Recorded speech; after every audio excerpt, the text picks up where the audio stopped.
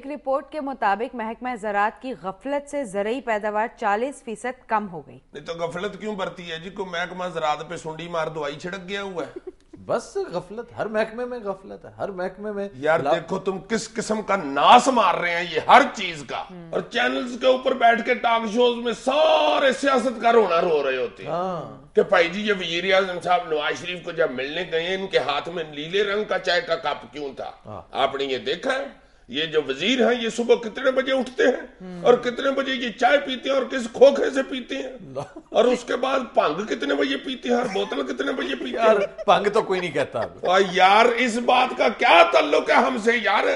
खुदा के वास्ते ये देखो कि जरात का बेड़ा गर्क कैसे हो रहा है? पानी पीने वाला हमें मिल रहा है साफ़ के नहीं? दवाइयाँ जो है वो खारिज आ रही है कि नहीं?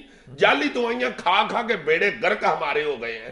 अपनी टीके की टांगे मारी हुई होती हैं अपने कैप्सूल का सिर पाटा होता है।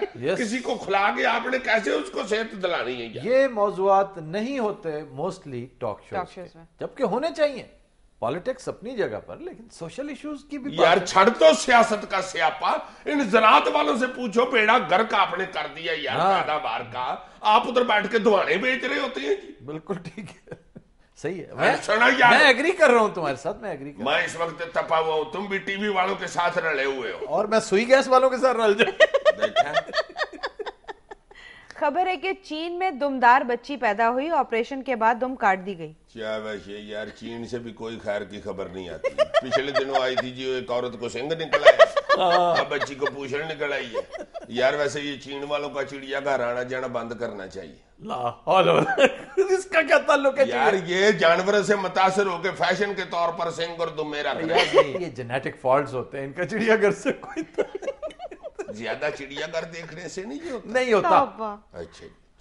खबर है ये कि दुम क्यों निकल आती है? मुझे नहीं पता क्यों निकल आती है। तुम्हारी नहीं कभी निकली दुम? मुँह से लगता है तुम भी टकरे मारने वाली।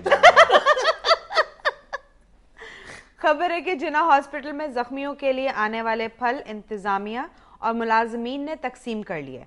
जख्मी मुँह देखते रह गए। एवं अल्लाह जानता है अखबार में झूठी खबरें लगा देते हैं। मैं इधर छह साल से नर्स हूँ। तो डूढ़ को दर्जन किन्नों खाए होंगे मैंने छह साल में? डूढ़ दर्जन कोई आदत नहीं होते? नहीं बिल्कुल यादा नहीं होते। एक सड़ा हुआ सेब खा लिया तो अखबार में खबर लगा दिया। केला तो मैंने एक ही चाक के फेंक दिया था गले हुए कौड़े। अल्लाह माफ़ करे। खबर ये लगाएँगे ये जो फ्रूट दे के जाते हैं ताज़ा दे के जाया करे। हम इनके नौकर नहीं है कि बासी फ्रूट खाते फिरे। वैसे कितने अफसोस की बात है कि मरीजों के लिए आए हुए केले जो हैं वो आप खा जाती हैं। ना तो और अनानास खाएँ जो आता है वही खाना है ना इतना तो तेज है। नहीं आपके लिए नहीं आता। आ, तो जिनके लिए आता है वो तो बेचारे हाय हाय कर रहे होते हैं। फ्रूट पड़ा रहता है इससे अच्छा नहीं कि गल जाए खा ही ले बंदा। यार देखो क्या जस्टिफिकेशन है? सुबहान है अल्लाह क्या जस्टिफिकेशन है। हर महकमा जहाँ जहाँ करप्शन कर रहा है वो इस तरह जस्टिफाई कर ढाई सौ का फ्रूट खा लिया तो करप्शन मेरा एनआरओ में नाम पढ़ लिया है। अच्छा मैं रिपोर्ट कर दूँगा तुम्हारी सेक्रेटरी हेल्थ को। चल जान दे मेरा वीर। लियावे छे किलो इनमें दे।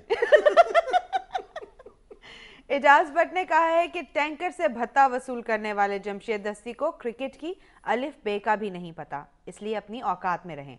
सदर की वजह से खामोश हूँ। यार वैसे ये कहा तो भट्ट साहब ने ठीक है।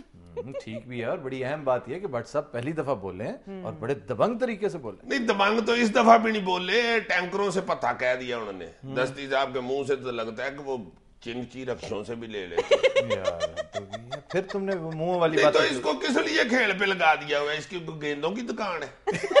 दस्ती साहब हाँ। दस्ती साहब वजारत मांगते थे वजारत थी कोई नहीं। उन्हें इधर एडजस्ट कर दिया गया। तो खेल पे किस लिए कर दिया हुआ? को फिर टुर के गलियों में चिड़ी छिक्का बेचते हैं। ये। यार बाकी सारे एक्सपर्ट्स हैं जो स्टैंडिंग कमेटीज में लगे होते हैं। बस तो फिर भट्ट साहब भी सही आक के बोले हैं ना बेचारे। अभी उन्होंने कहा कि मैं यरदारी साहब की वजह से खामोश हूँ। वरना माने जमशेद दस्ती के मुँह पे वड्डा पावा कट मारना था। यार फिर बड़ा पावा।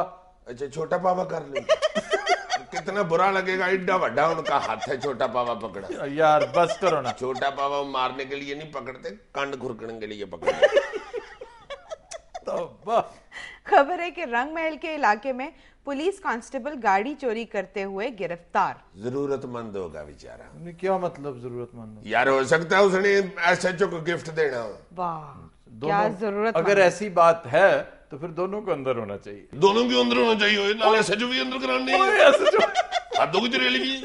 ਫਿਰ ਕੀ ਹੋ ਗਿਆ ਵਿਚਾਰਾ ਦੇਖੋ ਚੋਰੀ ਨਹੀਂ ਸੀ ਕਰ ਰਿਹਾ ਗੱਡੀ ਸਮਝੀ ਤੁਸੀਂ ਭਾਈ ਜੀ ਕੀ ਕਰ ਰਹੇ ਗੱਡੀ ਚੋਰੀ ਨਹੀਂ ਸੀ ਕਰ ਰਿਹਾ ਉਹ ਚੈੱਕ ਕਰ ਰਿਹਾ ਸੀ ਗੱਡੀ 'ਚ ਬੰਬ ਤੇ ਨਹੀਂ ਅੱਛਾ ਹਾਂ ਚੈੱਕ ਕਰਦਾ ਰਿਹਾ ਕਾਫੀ ਦੇਰ ਉਹਨੇ ਲਾਈ ਗੱਡੀ ਚੈੱਕ ਕਰਨ 'ਚ ਉਹਨੂੰ ਬੰਬ ਨਜ਼ਰ ਨਹੀਂ ਆਇਆ ਉਹਨੇ ਫਿਰ ਸੋਚਿਆ ਕਿ ਯਾਰ ਇਹਨੂੰ ਵਰਕਸ਼ਾਪ 'ਚ ਖੜ ਕੇ ਚੈੱਕ ਕਰਨਾ ਚਾਹੀਦਾ ਹੈ। अच्छा ਕਿਧਰੇ ਦੇ ਕਾਰਪੋਰੇਟਰ 'ਚ ਬੰਬ ਨਾ ਫਸਿਆ ਹੋਵੇ है कार्बोरेटर में यार ये क्या फजूल बात कार्बोरेटर में बंद फंसते हैं ਪਲੱਗ 'ਚ ਕਚਰਾ ਨਹੀਂ ਫਸਦਾ ਹਾਂ, ਤੇ ਕਾਰਪੋਰੇਟਰ 'ਚ ਹੋਰ ਬਾਂਦਰ ਫਸ ਜੇ ਉੱਥੇ ਬੰਬ ਵੀ ਫਸ ਲੈ ਇੱਕੋ ਕਚਰਾ ਹੁਣ ਕਿੱਥੇ ਕਿੱਥੇ ਫਸਾਓਗੇ ਉਹਨੂੰ ਵਿਚਾਰੇ ਨੂੰ? ਯਾਰ ਕੀ ਫਜ਼ੂਲ ਜਸਟੀਫਿਕੇਸ਼ਨਸ ਦੇ ਰਹੇ ਹੋ? ਅਕਲ ਕਰੋ ਯਾਰ ਕਚਰਾ ਵੀ ਕੋਈ ਇਨਸਾਨ ਹੁੰਦਾ ਏ। ਅਕਲ ਕਰੋ। ਬੰਬ ਫਸੀ ਉਹ ਲੱਭਣ ਦੀ ਅਸੀਂ ਵਿਚਾਰਾ। ਨਹੀਂ ਮਿਲਿਆ ਉਹ ਐਵੇਂ ਉਤੋਂ ਫੜ ਉਹਨਾਂ ਨੂੰ। ਠੀਕ ਲੈ ਜਾਓ ਗੱਡੀ ਲੈ ਜਾਓ ਲੈ ਜਾਓ। ਕੁਝ ਨਹੀਂ ਬੰਬ ਨਹੀਂ ਹੈਗਾ ਵੀ ਲੈ ਜਾਓ ਲੈ ਜਾਓ। ਅਕਲ ਕਰ ਜਦੋਂ ਪੁਲਿਸ ਫੜੀ ਜਾਏ ਤੇ ਉਹ ਕੋ ਖਬਰ ਪੜ ਦੇ ਏ।